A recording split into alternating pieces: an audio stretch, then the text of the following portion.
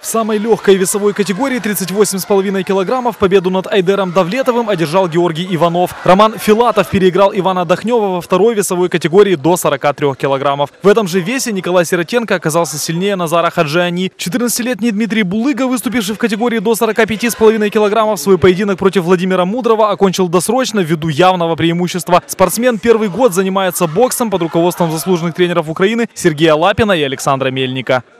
слабо бил, неуверенно шел, пришлось мне идти вечно. Вот так вот я, получается, победил.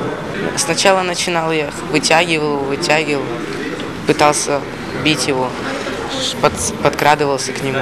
Но во втором раунде он уже начал опускать руки от ударов, и я уже начал сильно бить. В последней паре первого игрового дня победу над Евгением Полупановым одержал 13-летний Рамазан Ганиев, тренирующийся под руководством Василия Чепчука. Вес боксера 62 килограмма. Я был уверен в себе, начал бой уверенно, но немножечко под конец начал уставать. Первый, второй, второй раунд провел уверенный в своих силах. В третьем раунде у меня начали кончаться силы. Но соперник тоже был достойный, как бы он не, ну, не боялся, хоть и в первом раунде у меня были преимущества. Он тоже старался и выровнял позицию.